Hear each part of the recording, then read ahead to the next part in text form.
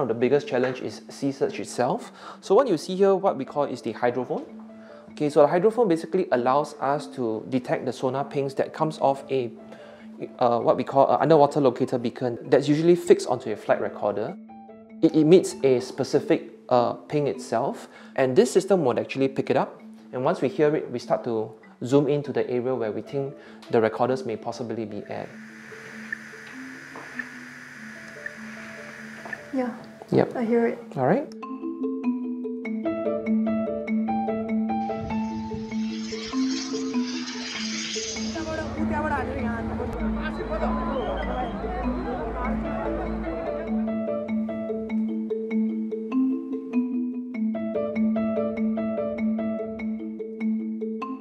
Flight recorders are typically um, made up of one section which is called a flight data recorder and the other section is called the cockpit voice recorder. So when a recorder comes to us, you can typically see that it may be in one of two conditions. This is in a wonderful condition where it's everything is serviceable. We do not need to do anything much. But assuming there has been uh, significant damage to this recorder, this portion of the recorder is typically sacrificial. What recorder specialists typically go for is the uh, memory chip that is stored within this crash survivable memory unit. What will then happen is that we'll do some electrical checks and if we do find some damages, we'll then move on to this station here where we will do a resoldering of the ribbon cable itself. And in certain situations where there appears to be more significant damage to the memory chips itself, we would actually look at the memory chip itself under the microscope to look for cracks, damages or even debris that may affect or compromise the operation of the chip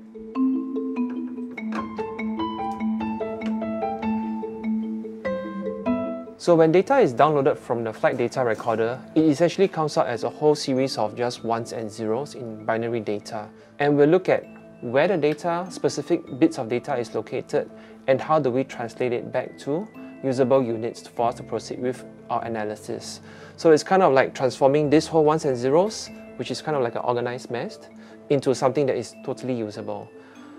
So once the data has been properly translated, you can then see that it turns out as individual parameters such as pitch angle, time, speed, power for example, and these are more relatable terms that we use.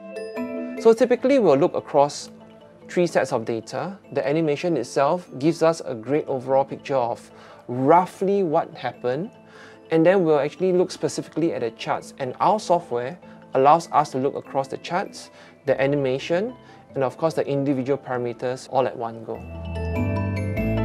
This is where we perform the transcription and listening of uh, cockpit voice recordings. It essentially records audio data that typically involves conversation between the pilots, the pilots with the external parties like the air traffic controller, cabin crew and potentially other aircraft.